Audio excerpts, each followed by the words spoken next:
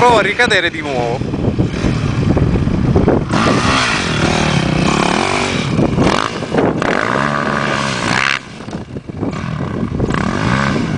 Ed è ricaduto, cazzo!